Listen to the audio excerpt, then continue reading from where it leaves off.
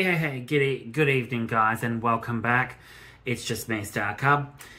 Now, this is going to be my review for tonight, and it's on a horror movie which me and the husband watched last night, and I can honestly say, what the fuck did we just watch? Um, before I get into it, uh, thanks to everybody um, that is new for tuning in. Thank you so much. I hope you find something funny in this review. Um, I'm hoping to because it's it's a doozy. And all those returning, thanks so much, guys. I really, really appreciate it. Now, let's get into it. It's a movie from 1990. It's an Italian slasher horror film. It was actually filmed in December of 89, but wasn't released until 1990. Like I said, it's an Italian slasher horror film. And it is directed by, let me check my notes, Claudio Frag Fragasso. And, and his wife, Rossella Drudi. Now, being that these the wife and husband duo that directed it are Italian, their English is very, very poor. Now, with that being said, um, this is actually set in the is actually set in Virginia Beach. Um, but, and this is the doozy, is that it says it is set in Virginia Beach, but it was actually shot in Norfolk. Um, that's right, you heard correctly. It was actually shot in Norfolk. So when you actually look at it, it doesn't have, it doesn't look anything like Virginia Beach. Granted, I only know what Virginia Beach looks like, you know, now, as opposed to looking like what it was back in, uh, you know, 89, 90. Um, but it, it is shot in Norfolk and not Virginia Beach. Um, so that's, that's one, that's one thing. And the other thing too is that this, the, these two were both inspired by Giallo films and generic slasher horror films. Now, it's supposed to be a mixture of the two, Giallo and slasher. Now, we all know from other horror film directors, uh, uh, Dario Argento, Lucio Fulci, that they have a particular style when it comes to Giallo. And we all know what Giallo is. But these two obviously have no freaking idea what the fuck they were doing um, because, yeah, it was all over the joint. It, uh, no shit, it was all over the joint. The acting was atrocious. Atrocious. Um, I'll give you the basic premise. It was basically promoted as being a part of the Texas Chainsaw Massacre franchise, when in actual fact, it had nothing to do with the Texas Chainsaw Massacre franchise at all. They were jumping off the success of that, because, you know, Texas Chainsaw Massacre being big and all. Um, and it shares no, no um, similarities to the Texas Chainsaw Massacre at all. The basic premise is um, this film is called Night Killer. For reference, it is called Night Killer. Uh, and this is the other doozy. The basic premise of it is, is a woman is stalked by a serial killer wearing a deformed mask. Look, looks like a zombie sort of creature with long ass zombie like claws that he plunges into the victim's chests. Um, and the, he basically stalks a woman um, that he saves for La, that he's wanting to save her and save for his last kill. So he stalks her, he kidnaps her, and it's this whole torture, torment thing. But he kills other people as well along the way while stalking her. But he doesn't kill anyone at night. It's all done during the day. What the fuck? And it's called Night Killer. What? Um, yeah. So um, this killer kills two people before she sees it on screen in the TV. She sees it screening on the news, and then she becomes all rattled. But there's so it's so disjointed, and I can see where they were trying to get the giallo aspects of it, while also trying to be slasher.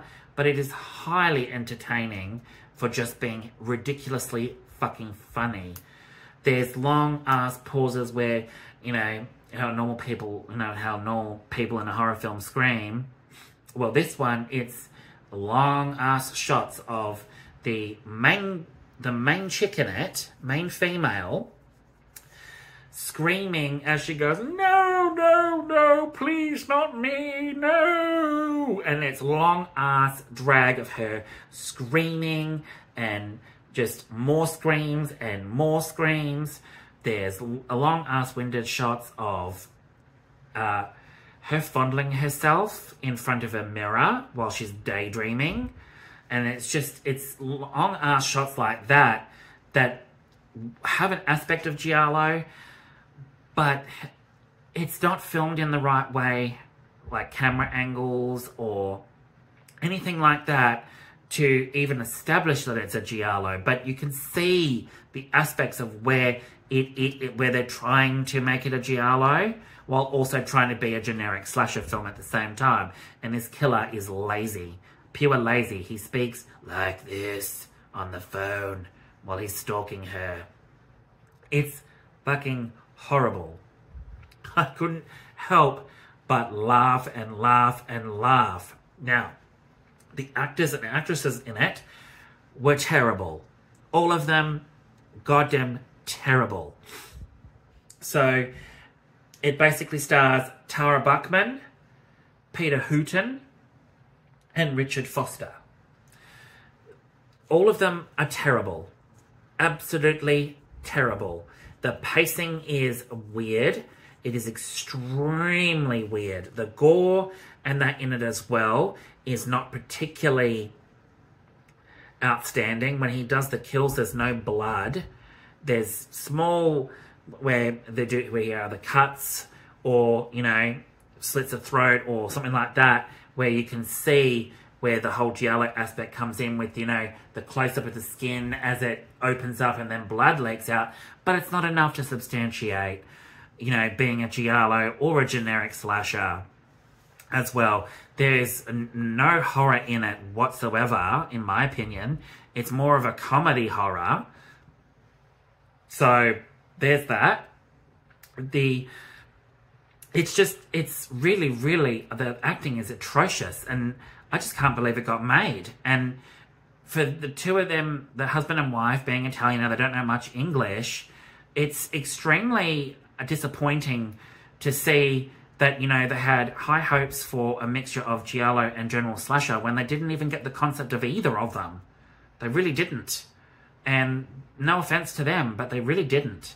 And the actors and actresses in this film, oh my god. Especially the lead, Tara Buckman, she was horrible. She was damn right horrible. Uh, it was laughable. Her character was laughable. Everything about it was laughable. It's basically uh, he kills people. This killer kill, calls himself the Night Stalker. Kills himself, kills people during the day, not at night. Kills two people that open up the film, and then it opens up with her. You know, there's a whole subplot as well where she has a daughter. Um, her husband's nowhere near to be seen at all in this film, and we know she has a husband. Um, but she hands her little girl off to a friend who goes with his wife on a weekend trip. And then obviously she's in the house alone, and then all this weird shit starts happening where she's stalked.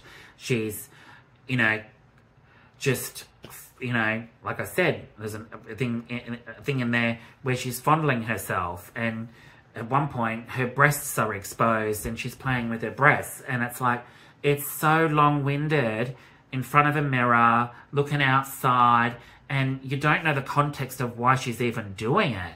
Half these, half of them is, it's I, I really cannot say anything more about this film. It is absolutely horrible. And it's basically, and I'll, I'll in my notes, it's basically a, um, a psychopathic maniac costumed in a grotesque hood, matched with a sharp clawed glove, is stalking the women of Virginia Beach, uh, killing them in a violent spree, of, violent spree of misogynistic murders that terrorize the city. That's the basic premise. And then Melanie Beck, who's played by Tara Buckman, um, a devoted mother and wife, narrowly survives a violent kidnapping and rape. And then from there, you can guess where it goes. I'm not going to give any more away of what I've written in my notes because that's the basic premise. You guys have to go out and watch it. It's on Tubi. I would suggest going watching it on Tubi. It is funny just for a laugh, and you can see where the giallo aspects come in, but other than that, this film is really, really horrible and laughable. And when I got to the end of it, there's a decent, it has a decent enough premise, and I think if it had more gore and was aimed at being more violent, I could see this movie being a real, real go-getter, especially if it was aiming for giallo and a slasher at the same time.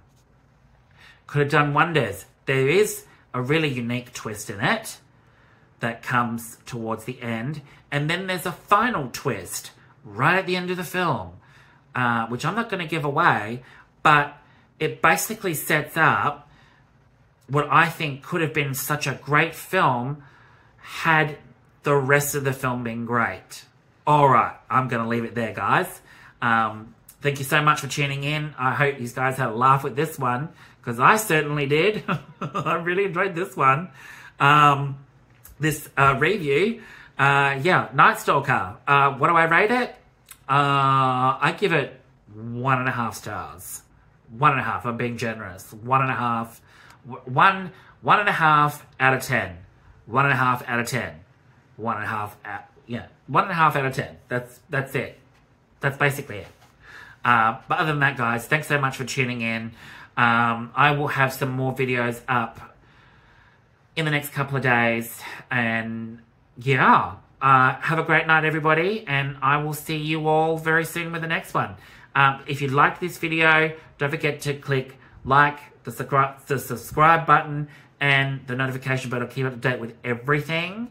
Um, that would be really, really appreciated. I really, really, really appreciate the support, guys. Other than that, thanks so much. Have a great evening, and I'll see you all very soon with the next one. All right, bye.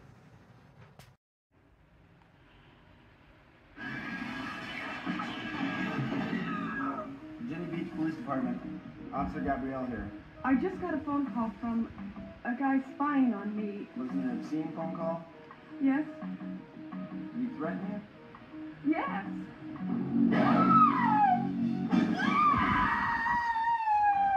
poor woman will never be the same again. She doesn't remember anybody or anything. All of the victims were raped before they were tortured, mutilated, and killed by the masked maniac.